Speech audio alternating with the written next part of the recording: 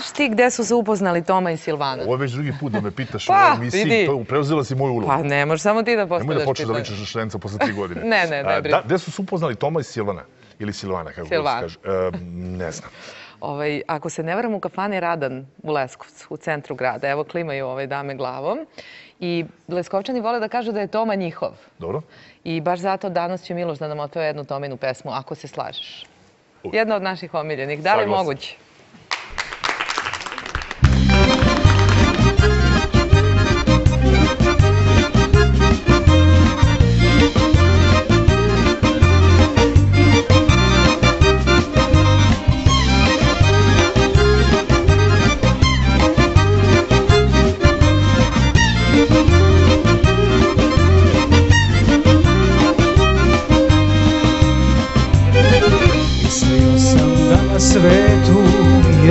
Jedina si ti Verovao u sve laži što si lagala Al te srce i sad traži ženo prokleta Šta da činim, gde da lutam, ne znam ja sam.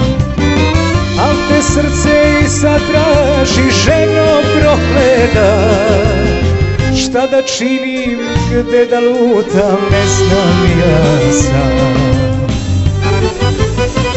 Da li je moguće da si me zaboravila?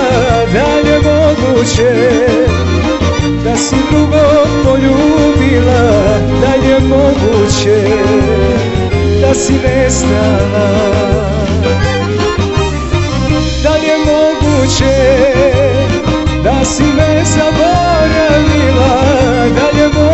moguće da si drugo poljubila je moguće da si nestala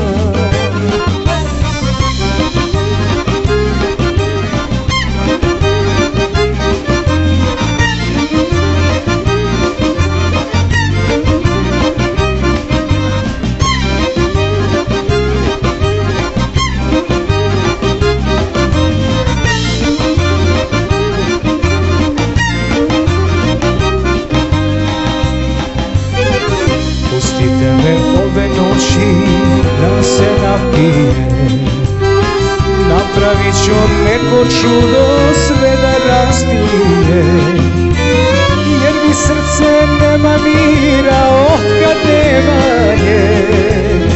Srušila je jedan život, odnela je sve.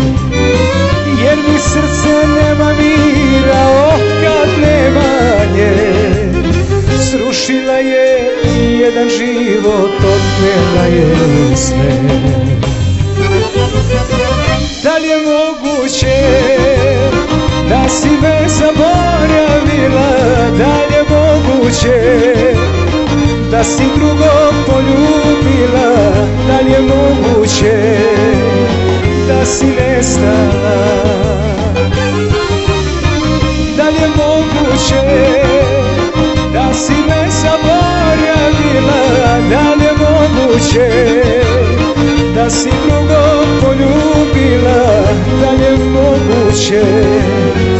da si